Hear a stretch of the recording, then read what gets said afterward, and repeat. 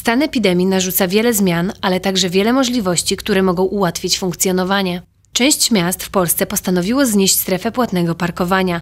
Czy jest to dobry pomysł? Czas pokaże. Jednak Olsztyn nie bez przyczyny zrezygnował z tego rozwiązania. Aby zwiększyć możliwość e, rotacyjną, aby w zasadzie nie ograniczać tego, co mieliśmy do tej pory, na razie nie zamierzamy e, likwidować strefy płatnego parkowania, ponieważ to daje nam gwarancję, że mieszkańcy jednak e, mogą tam znaleźć jakieś miejsce w strefie płatnego parkowania.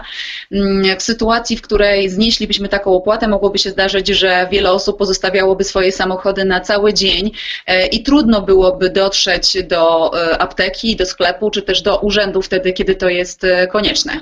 Pozostaje też kwestia parkometrów, z których musimy korzystać, dopóki płatna strefa obowiązuje, a jednak jest to miejsce, które dotyka wiele osób korzystając z nich, musimy pamiętać, żeby mieć e, na rękach rękawiczki, żeby się jakoś zabezpieczyć, ponieważ e, wiadomo, że ktoś przed nami również mógł ich dotykać, ale oczywiście my wszystkie takie powierzchnie również dezynfekujemy, chociaż plusem jest tutaj fakt, że mm, te powierzchnie zewnętrzne, e, zgodnie z informacjami, które mamy, one e, na nich wirusy utrzymują się krócej.